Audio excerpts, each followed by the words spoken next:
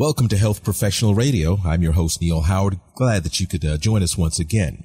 Our guest is Dr. Alyssa Dweck. She's joining us on the program to talk about a new study concerning lactating and breastfeeding uh, that's been supplemented with a very unique B3 vitamin. And I'll uh, let Dr. Dweck tell us a little bit about her background, and um, we'll jump right into this this brand new study about lactating and this B3 vitamin.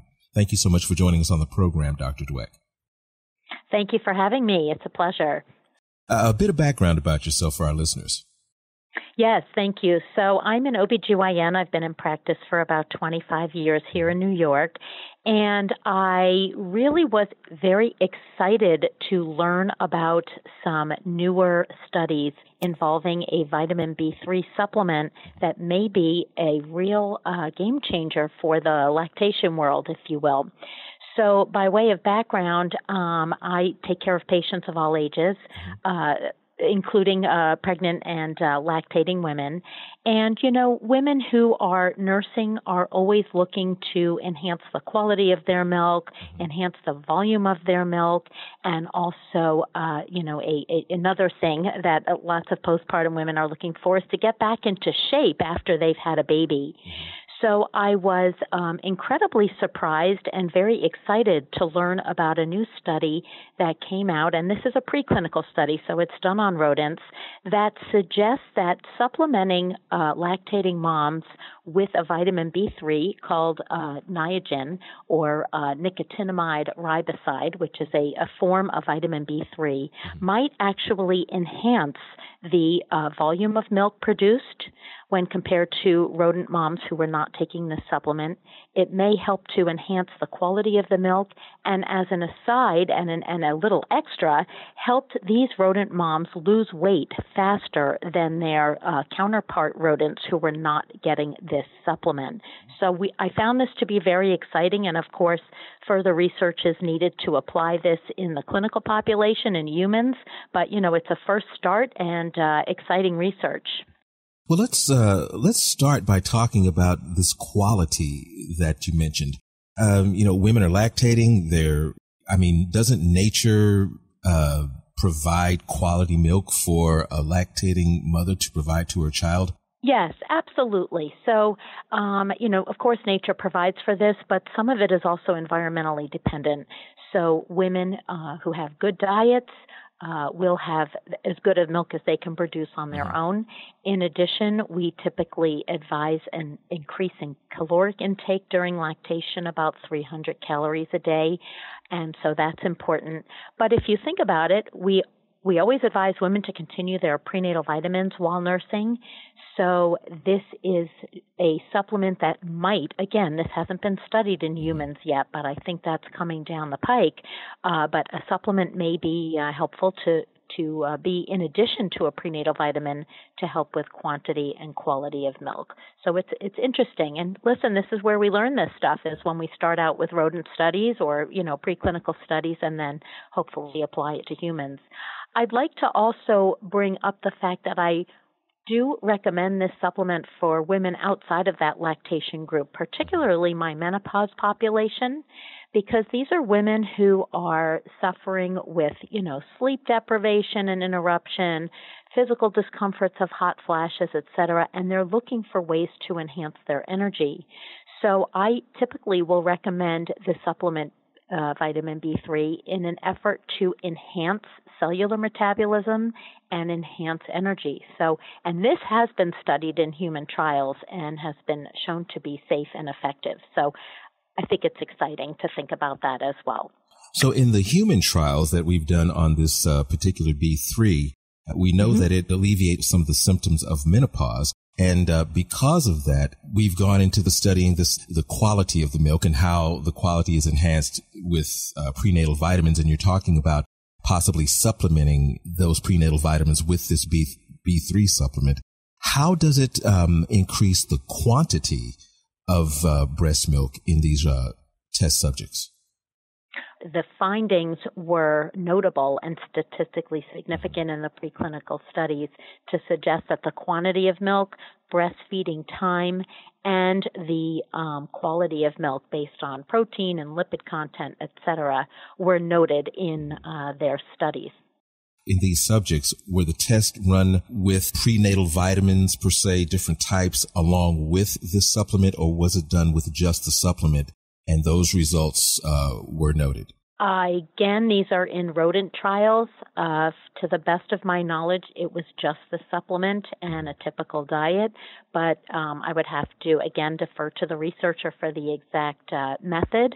Um, but um, again, when they compared the group that did not get this supplement with the group of rodents that did, the, the findings were uh, certainly statistically significant and notable.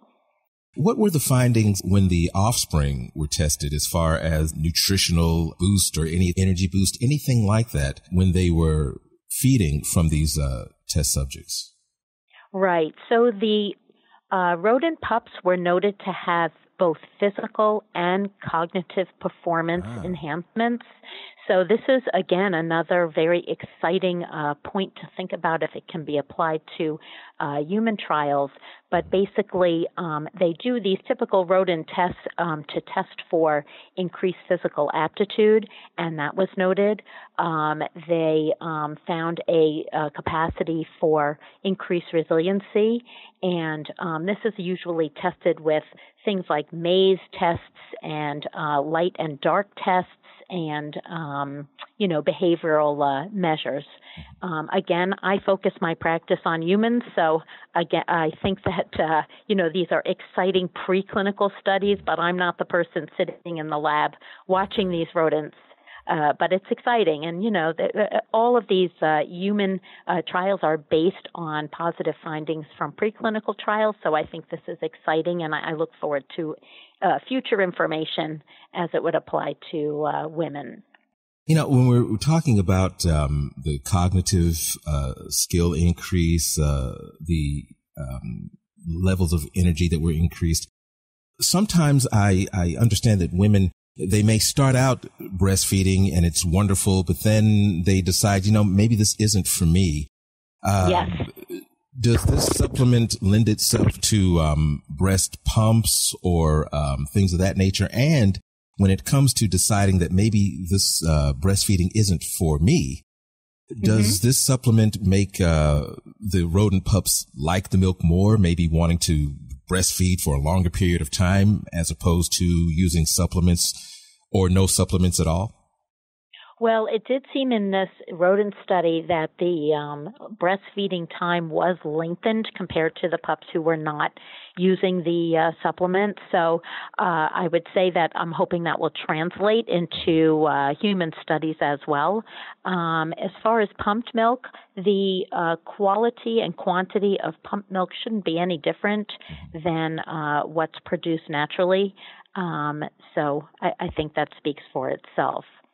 In your opinion, what do you think is the future uh, of this research? I mean, it, you, you called it a game changer in the uh, early part of our conversation. Are we talking right. a uh, couple, three years or maybe a decade or two down the road before this is something that's basically mainstream and par for the course mm-hmm. when it comes to uh, lactating mothers. Yeah. You know, we are very, very cautious in the obstetrical world about what we recommend to our moms, uh, both during pregnancy and nursing. So we are not there yet. As far as 10 or 20 years, I hope it's not that far off. Uh, so I know there are ongoing studies now, so I'm hoping that the results are sooner rather than later.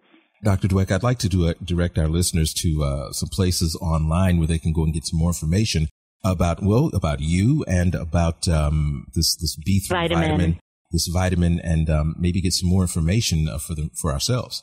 Sure, sure. So uh, my website, my personal website is drdweck.com, mm-hmm. and uh, there's uh, plenty of information there about me and what I do. And um, I would refer your listeners to the Chromadex or True Niagen websites to learn more about the supplement because we are recommending it for women now, not necessarily pregnant or lactating women. And the trials that I spoke about are on clinicaltrials.gov, which will be very helpful for the more scientifically minded. Right, great. Now, in wrapping up very briefly, I understand that you've co-authored uh, two or three books. Could you give us those titles and um, let us know whether or not we can get them online? Oh, absolutely, and thank you for asking. So, my latest book is called The Complete A to Z for Your V. Uh, just a kind of a humorous but very informative book about all things gynecology. So, I, I recommend it for uh, women and men to learn more and it's fun. Um, and then um, my uh, second book was um, a book about libido, mainly meant for clinicians to help with our patients to enhance their sexual drives. It's called The Sexual Spark, and that's on Amazon as well. I thank you so much for joining us on the program this morning. It's been a pleasure, Dr. Dweck. Thank you so much. Have a great day. You as well. You've been listening Bye-bye. to Health Professional Radio. I'm your host, Neil Howard. Transcripts and audio of the program are available at hpr.fm and healthprofessionalradio.com.au. You can also subscribe to this podcast on iTunes, listen in and download at SoundCloud, and be sure and visit our affiliates page at hpr.fm and healthprofessionalradio.com.au. Thank you for listening to Health Professional Radio. We're very proud to be an independent broadcaster providing our content free of charge to you, the listener.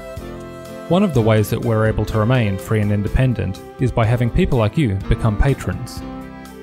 You can support Health Professional Radio simply by visiting hpr.fm and clicking the button that says Become a Patron. Your patronage of even just $1 a month lets us know that you're there, which in turn makes us more valuable to advertisers. And, of course, if you're able to afford more, then we would certainly appreciate the support. My name is Toby Longhurst from Health Professional Radio please visit hpr.fm, click the Become a Patron button, and support us if you can.